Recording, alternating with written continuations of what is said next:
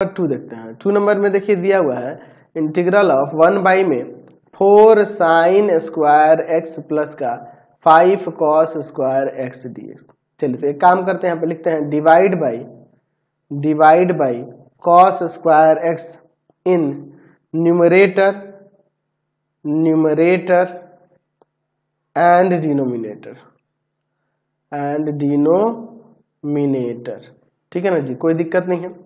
यहाँ पे integral of one by cos square X by में। Four sine square X by में cos square x plus का five cos square X by में cos square X D X अब इसके बाद देखिए क्या होता है। यहाँ कॉस स्क्वायर से cos square cancel integral of ऊपर आ जाएगा आपका सेक स्क्वायर एक्स नीचे देखिए फोर टेन स्क्वायर एक्स और प्लस का फाइव डी एक्स अब इसके बाद देखिए क्या होता है।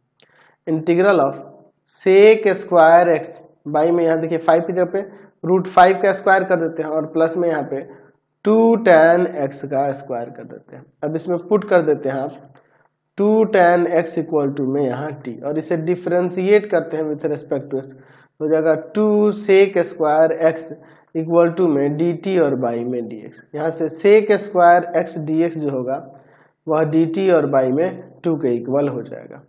चलिए तो ये हो जाएगा आपका डी टी बाई टू यहाँ पर one by root under five का स्क्वायर प्लस में यहाँ पर आ जाएगा T square one by two constant है, बाहर कर लेते हैं तो हो जाएगा one by two integral of one by root five का स्क्वायर और प्लस में टी का square D T tan inverse वाला फॉर्मूला यहाँ पे लग जाएगा. वन बाई टू इंटू में one by root five tan inverse T by में रूट फाइव और प्लस का सी टी का वैल्यू यहाँ पे रख देते हैं टू टेन एक्स यहाँ one by two root five tan inverse two tan X by में रूट फाइव और प्लस में सी ये आपका आंसर हो गया। समझ गए? नेक्स्ट क्वेश्चन देखते हैं।